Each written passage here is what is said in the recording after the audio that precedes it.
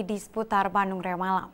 Pemirsa diduga mendukung salah satu pasangan calon di pemilihan gubernur, aparatur sipil negara dari Dinas Pendidikan dan Dinas Perhubungan Jabar dilaporkan ke Bawaslu Jawa Barat.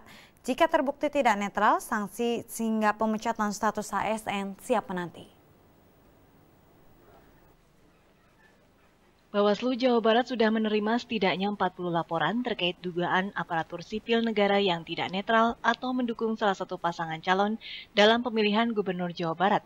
Salah satunya laporan dari masa Kaukus Rakyat Jabar bahwa ada oknum ASN dari Dinas Pendidikan dan Dinas Perhubungan Jabar yang mendukung pasangan calon nomor urut 3 Sudrajat Saiko. Laporan tersebut melampirkan bukti berupa puluhan lembar foto salah satu ASN yang mengkampanyekan pasangan nomor urut 3.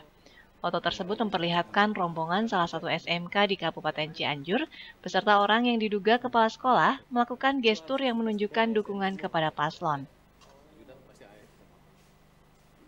Di foto yang lain, tampil lelaki menunjukkan kalender berisikan wajah cagup nomor urut 3 Sudrajat Saiku.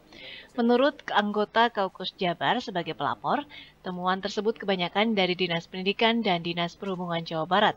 Masa Kaukus pun siap menghadirkan saksi untuk menindak ASN yang nakal bahwa eh, apabila ASN itu terlibat siap ditindak tegas eh, bahkan siap dipanggil ya.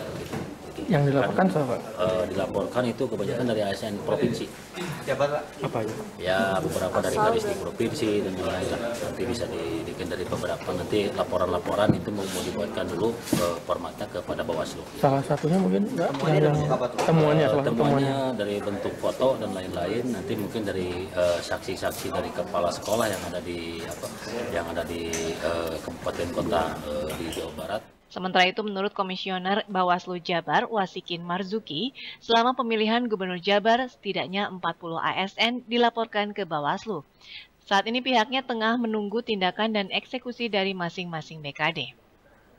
Akan mengajukan laporan adanya dugaan ketidaknetralan ASN di Jawa Barat, eh, khususnya dari kalangan distrik Eh, Jawa Barat.